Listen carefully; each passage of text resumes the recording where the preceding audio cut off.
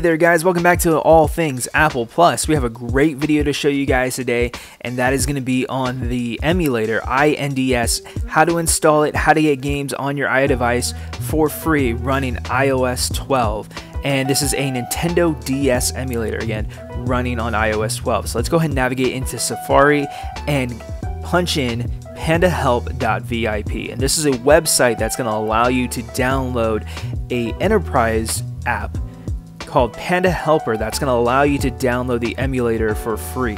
Now, they also allow you to download other different games and other different emulators uh, for free. So go ahead and check them out, and I'll leave the link in the description below. So once you get the application, and if you try tapping on it, you will receive a untrusted enterprise developer app notification. Just go ahead and navigate into settings, general, profiles, and device management, enterprise app. Go ahead and hit the blue trust button and trust again, and you can go and hit the home button, and you should be able to launch the application from there. Now, upon launching the application, you may receive some notifications, some ads. Go ahead and close those guys out, and we're going to navigate into the search tab, which you'll see at the top of the main page of the application. So from here, once we tap in the search section, we're going to type in INDS. Now from here, we can go ahead and install the application, but I do want to let you know that this is an updated version of the Nintendo DS emulator previously we did have other emulators that or previous versions of this emulator that didn't allow you to sync to Dropbox.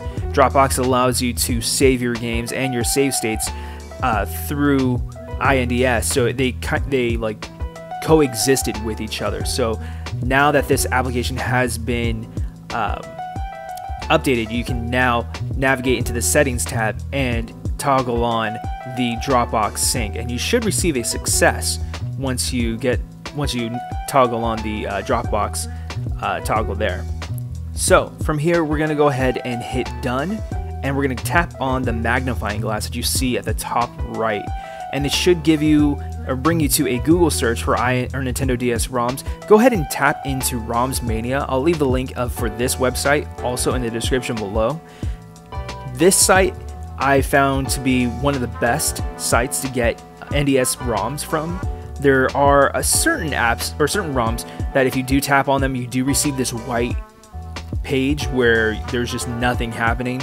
And unfortunately, unfortunately, like Pokemon Soul Silver, this is one of the ROMs that just populates with this page. So let me go ahead and navigate back. We'll go ahead and tap right back on into the website. And let's go ahead and try and download Mario go. Mario 64. See how it loads just fine.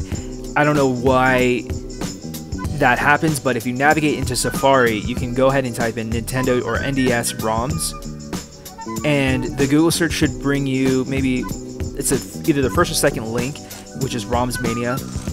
We can navigate over into there and we can download Pokemon Soul Silver. And it must just be an extra tab that's loading in the background that's not allowing you to, to see the actual main page here. So upon scrolling down, we can scroll down to see the green download button. Just go ahead and tap on that and you should be brought to this page where it says your ROM is downloading.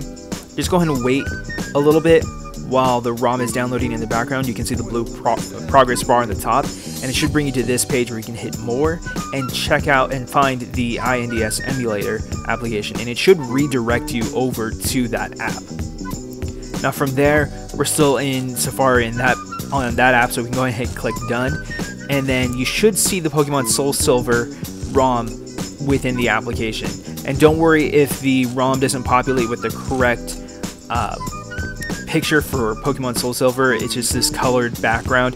Don't even worry about that. If you do tap on the ROM itself, it should launch normally. So just go ahead and hit the actual ROM and then hit launch normally, and then the actual or the ROM should go ahead and load from there. And as you can see, ROM works great. We have the game running, no issues, no problems, running at a, a good speed. And then if you do need to speed up the game as well, you can navigate over into settings and toggle on the frame skip if you would like to. But I hope you guys did like this tutorial. It was a kind of a short one today. If you guys did, if you guys found this a little bit informative, just go ahead and like, comment, subscribe. Let me know if there's any problems or issues that you may be having with the application. If it does become revoked, just stay tuned on my Twitter, and as I'll be releasing uh, different updates and letting you guys know when these ROMs come back if they've ever been revoked. But I'll be catching you guys on the next one. Peace.